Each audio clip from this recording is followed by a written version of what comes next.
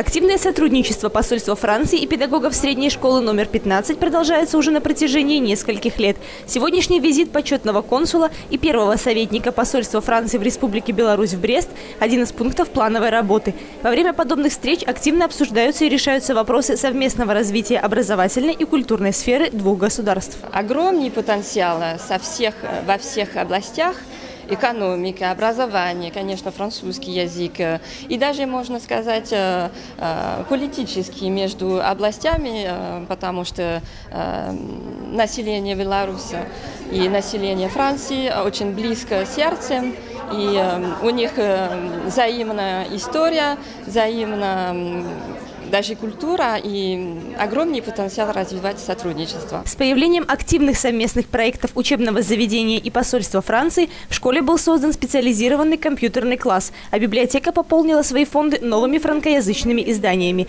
Одним из наиболее важных проектов является открытие так называемых билингвистических классов. Для молодых людей учеба в таких группах открывает большие возможности, одна из которых – поступление в высшее учебное заведение Франции. В этих классах, помимо языковых дисциплин, юноши и девушки изучают на французском языке географию и историю. Принцип билингвизма не совсем тот, как его понимают некоторые. Да, это действительно двуязычие, но это не значит, что изучение двух иностранных языков, а скорее использование иностранного языка, в нашем случае французского, для получения знаний по другим предметам. У нас хороший дружный коллектив.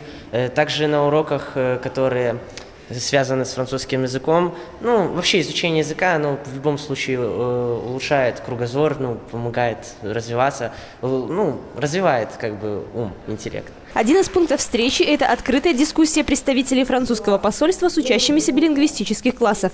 Во время подобных мероприятий молодым людям рассказывают о перспективах их обучения. Сегодня список возможностей, которые открываются перед юношами и девушками, довольно велик. Одна из них – обучение в Минске в Белорусско-французском образовательном центре, по окончании которого молодые люди получают диплом выпускника Университета французского города Бордо.